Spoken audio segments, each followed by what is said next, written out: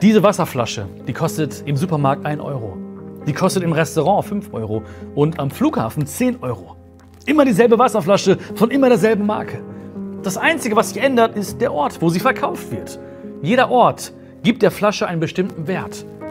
Und wenn du dich manchmal wertlos fühlst, dann schau mal, ob du dich am richtigen Ort befindest. Schau mal, ob die richtigen Menschen dich umgeben. Weil wenn du dich wertlos fühlst, bist du vielleicht am falschen Ort, umgeben von den falschen Menschen, die dich nicht wertschätzen. Werde dir deines Wertes bewusst, denn du, du bist unbezahlbar, du bist unfassbar wertvoll. Und ich möchte, dass du das niemals vergisst. Schön, dass es dich gibt. Fühl dich gedrückt. Dein Bion.